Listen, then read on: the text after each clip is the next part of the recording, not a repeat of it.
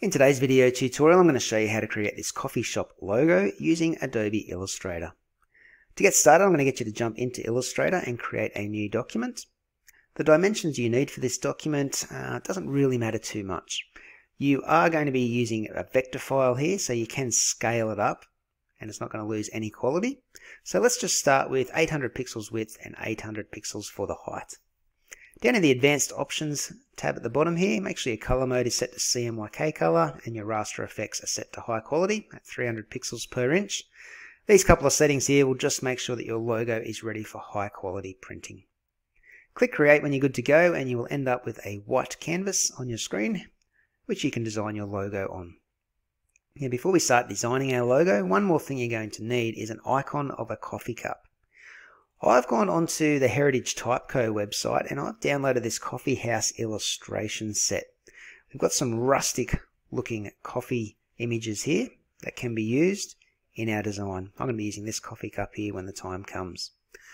Okay, we're not going to do that yet. What we're going to be doing is adding in all the circles that we need to create this logo. Just looking at the finished copy, you can see there are quite a number of circles around the border and on the inside of the logo here. So to get started on those, down in your toolbox, you'll have this ellipse tool. It might be hiding under your rectangle tool like this. So you need to hold your left mouse button down on the rectangle tool to access the ellipse tool. You can press the letter L for the shortcut. Now once you've selected the ellipse tool, you'll need to head to your properties panel on the right hand side. If you can't see your properties panel, just go to your window menu and select properties. Now we've got a fill color here uh, that we can change and we want to be choosing a browny kind of color that's going to suit the coffee shop kind of theme. I'm going to go with that dark brown that um, Illustrator's got there. The stroke is just the border of the shape. We're going to hit the box with the red line going through it. That just says we don't want a stroke on our shape. And when you're ready to go, hold down shift, click and drag across the screen and you'll get a nice big brown circle. Now using your selection tool, you can click on that and we want to center it in the middle of the page. Probably the best way to do it is go to the Align section here in your Properties tab. Just hit those little three dots in the bottom right corner of that tab. And make sure the Align To section at the bottom is aligned to the artboard. Okay, now once we've got that selected, just click this button here that will horizontally align the circle in the center of the page. And this one here that will vertically align the, uh, the circle in the center of the page. That circle now is smack bang in the middle of our artboard. Okay, and what we're going to do now is simply click on it with our selection tool and go to Edit, Copy, and Edit, Paste in Front. So we now have a second brown circle right on top of the other one. And I'm going to change the fill color to white. And holding Alt and Shift on my keyboard, I'm going to resize that ever so slightly so we get a thin brown border around the outside there. So we've got a brown circle in the background that is just slightly larger than this white circle in the foreground. Now clicking on this white circle again with my selection tool, I'm going to go to edit and copy and edit, paste in front again. Control C to copy, Control F to paste in front are some good shortcut keys that you should be aware of. Once you've pasted it in front, change your fill color back to the brown that you selected before. And again, make it a bit smaller. And you'll see that we've got this sort of look happening. Okay, we've got the brown circle here. You can see a bit of that white circle we put in, and then a bit of that first brown circle we put in originally. That's looking pretty good. We're going to do that all over again, so we're going to copy and paste in front again, and change the fill color back to white. And this time we're going to be making it, oh, let's say about that size there. So the brown circle that we see there is a little bit thicker than the snippet of brown circle we see in the background. Okay, that's looking pretty good. There's probably quicker ways to do this, but I'm just showing you the way that I know how to do it. Um, so if you know a better way, by all means do that. I'm going to click on this white circle that's in front of everything at the moment and do the copy and paste in front thing again. Change my color back to brown. And I'm going to make this a bit smaller. say about this size here. Um, we're just going to do that copy and paste again. So edit copy, edit paste in front, change the color to white. We're nearly done now by the way. Hold shift and alt and we're going to make this a skinny brown line, a bit like the one on the outside of our logo. That's good and for the final time, edit copy, edit paste in front. Change the color back to brown and just using your selection tool drag that in while holding shift and alt to get something something like that. So that's looking pretty good. I'm happy with the shape of my circles. If we go back and look at the completed copy, you can get an idea on what we're creating. Okay, it's probably time to bring in the coffee cup now and put it inside this circle. So I'm going to head over to my coffee house illustration set. Simply click on this, Control C to copy, and then Control V to paste. Now it comes out a brownie color, so just change the fill color to white. And to me, this coffee cup looks back to front. So I'm going to right click on it, transform it, and reflect it. And that's just going to flip it around. Click OK. Probably needs to be a little bit smaller. That's looking pretty good. And you can use your arrow keys if you want just to nudge that around until you're happy with its position inside of that circle. Should be somewhat centered. Okay, that's looking pretty good. What we need to really do now is add some text in this big white section around here. So the name of our coffee shop. What I'm going to do first though is just grab my ellipse tool and change the fill color back to brown. I'm just going to draw a couple little circles in here. So that's probably, whoops, that's probably a good little size. Uh, once you've got that one there, click on it and make sure you uh, sorry, vertically align it in the center. Okay, that looks pretty good. I'm just going to copy and paste that.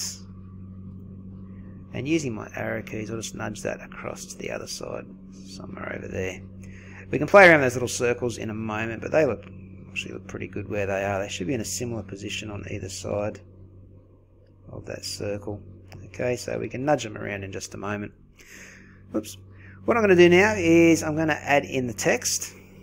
Okay, I just need to make sure that's vertically centered first. They look a little bit wonky, but no, they're right. So adding in the text, what I want it to do is basically follow the path of a circle. So we've got the name of the business and a little slogan there underneath it. So I'm going to draw another circle. So grab your ellipse tool again. Um, I'm just going to switch the fill and the stroke color around. So I've got a brown stroke now and no fill color.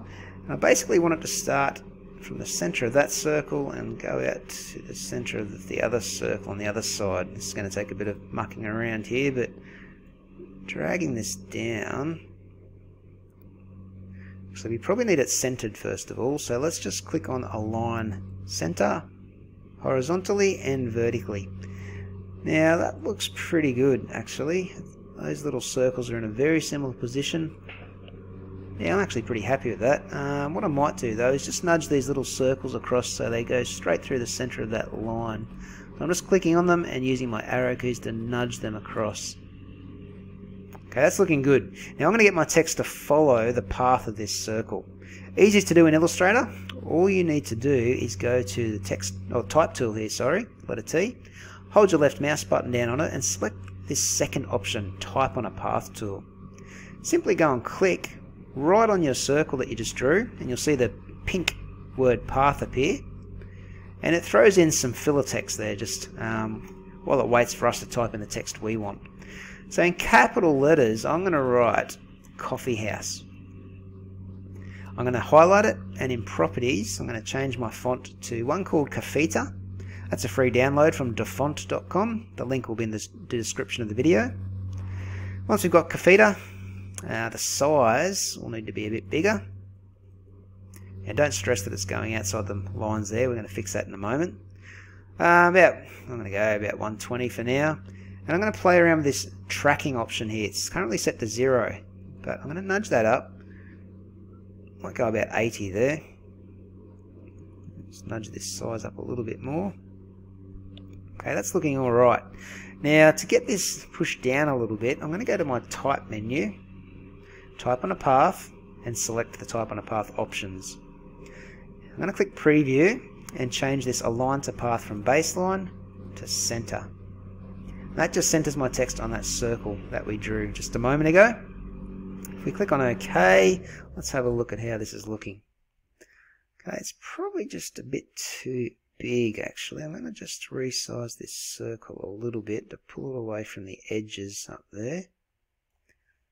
Okay, that's looking a bit better. I'm going to click on this text and use this little lever here at the end. See that your mouse cursor changes when you hover over it. Just click and drag that text back a little bit so it's evenly spread around the circle between those two dots. That looks pretty good. You can change the color of that text. Okay, so just highlight it and change the fill color there to that brown we've been using all along. And that's the top of our coffee house logo looking pretty flash. I like it. What we want to do now is simply get some text around the bottom side of that circle. Um, so what I'm going to do is I'm going to click on this text, or click on the circle actually. I'm going to go to copy, and I'm going to go to paste in front. So we've now got a second set of text that says coffee house. I'm going to go up to my type menu and choose type on a path and choose the options again. I'll click the preview box and this time I'm going to flip the text. That's going to move it down to the bottom of the circle. So click OK. Drop your size right down. Let's try about size 36 to start with. And I'm going to turn this tracking right up to let's say about 200. It's going to put a fair bit of space between these letters. And using my type on a path, type on a path tool again, I'm going to double click on that text and we're going to reword what's written there. And it's going to say premium quality coffee beans. And I'm going to use that little blue lever again just to twist it around a bit. I might have to do it in stages here. It's probably going to be a bit fiddly. So just do it in little sections at a time. We want to start roughly about there. So I'm going to need to highlight this text again and make it a bit, probably a little bit, uh, actually probably a bit more spacing, so tracking between the letters will look good. Something like that. I don't really want the text any bigger than what it currently is. So it's just a matter of turning that tracking up. Okay, and that's looking pretty good. What I'm thinking is this middle section probably needs to be moved down a little bit. So I'm just going to deselect a few things here.